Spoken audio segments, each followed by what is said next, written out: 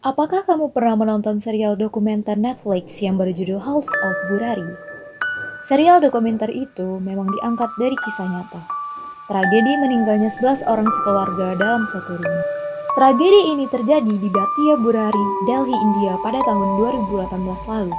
10 anggota keluarga ditemukan dalam posisi tergantung, sedangkan anggota keluarga yang paling tua yaitu nenek meninggal dengan cara dicekik.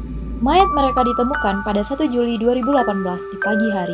Saat itu, polisi menyimpulkan bahwa kejadian ini merupakan tindakan bundir massal. Dalam sebuah artikel yang ditayangkan The Hindu disebutkan bahwa keluarga ini dari golongan kelas menengah. Mereka mapan, mereka juga memiliki tempat tinggal yang nyaman. Oleh sebab itu, orang-orang sangat terkejut ketika mereka akhirnya ditemukan dalam posisi tergantung. Tak ada yang selamat dari peristiwa itu, hanya seekor anjing peliharaan mereka yang ter Seorang polisi Rajiv Tomar memberikan kesaksian selama 17 tahun berkarir di kepolisian saya belum pernah menyaksikan tempat kejadian perkara seperti ini. Dan saya berharap tidak lagi menyaksikan hal serupa.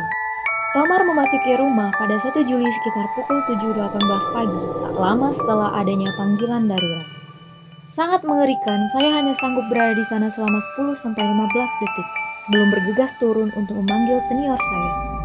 Saat itu, saya tidak melihat tangan siapa yang diikat dan mata siapa yang ditutup. Saya hanya melihat banyak mayat bergelantungan seperti dahan pohon. Begitu kesaksian Rajiv. Sepuluh orang ditemukan tergantung dalam posisi melingkar. Anggota keluarga yang paling tua, Narayan Devi, 77 tahun, ditemukan tewas tercekik di lantai kamar sebelah. Kematian awalnya diduga sebagai kasus pembunuhan karena anggota badan diikat dengan penutup mata dan mulut disumpal. Namun akhirnya terungkap setelah penyelidik menemukan buku harian yang ditulis dengan catatan yang merinci situasi seperti apa yang mereka hadapi. Berdasarkan buku harian tersebut, polisi menduga itu adalah kasus ritual yang salah yang mengarah ke bundir massal. Polisi mengatakan buku harian itu ditulis oleh anggota keluarga yang bernama Lalit.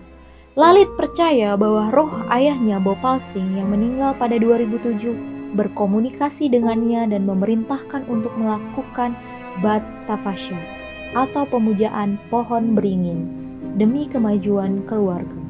Yang jadi pertanyaan banyak orang adalah bagaimana anggota keluarga termasuk yang berusia 15 sampai 25 tahun setuju untuk mengikatkan tali di leher mereka dan percaya bahwa mereka akan selamat dari ritual tersebut.